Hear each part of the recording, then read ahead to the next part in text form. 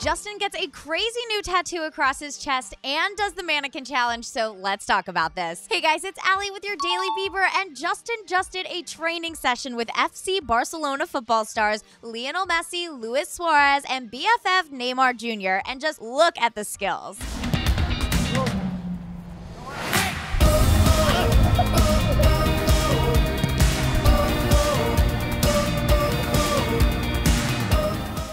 Has always been easy for Bieber. But all right, switching gears, let's talk about Justin performing in Bologna, Italy, where he did some cool things like hold this adorable sign for his little brother that says Happy Birthday Jackson. Justin also showed off his new chest tattoo that reportedly says Son of God. I have mixed feelings about this one. Is Justin Jesus or is this just an ad for Jesus? We'll look into it. But okay, JB even tried doing the mannequin challenge with his believers, and Justin's having a difficult time keeping it together.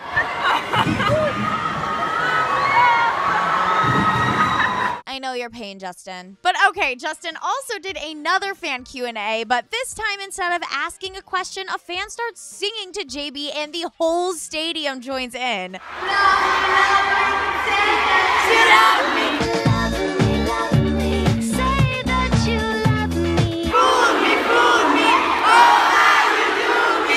Love Fool by the Cardigans is such a classic. But all right, I have to hear from you guys. What do you think about Justin's new tattoo? Sexy or Justin, just please stop?